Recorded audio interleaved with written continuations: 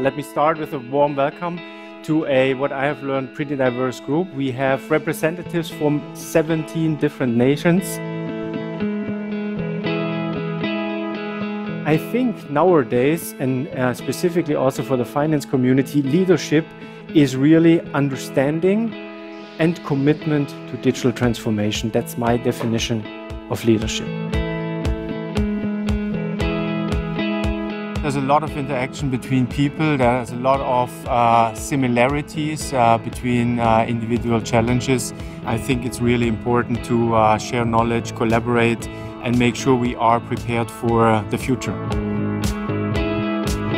So for the next 30 or so minutes, I'm going to talk to you a little bit, a little bit about how I see finance uh, looking in 2025. One person I look to when thinking about the future um, is a scholar named uh, Warren Bennis.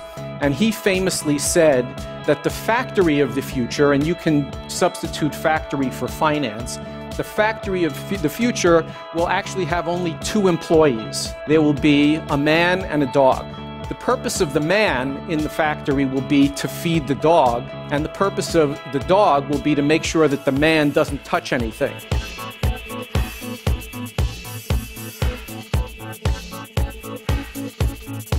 To me, the most important thing is that we get a better understanding about the uh, latest technologies, the options that we might use going forward.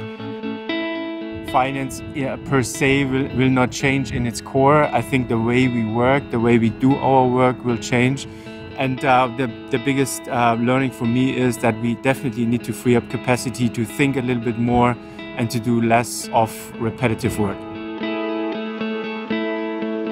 the life cycles of technology will be faster and we will be all affected. The, the impact might be huge for everybody. One of the major trends I see in finance is the concept of transformative finance. It's really how does the finance department add value more and more and partner more and more with the businesses every day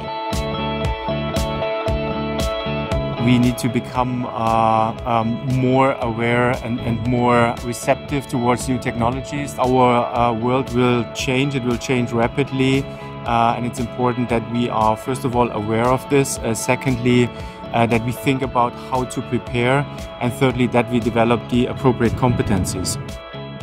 The Finance Summit is special because you would never find a place in which you see so many different people coming from so many different nations with a bulk of experience that you can tap into.